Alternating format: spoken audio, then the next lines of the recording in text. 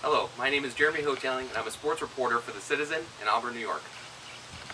I'm here to do the Ice Bucket Challenge, which aims to raise awareness and hopefully money for the fight against ALS.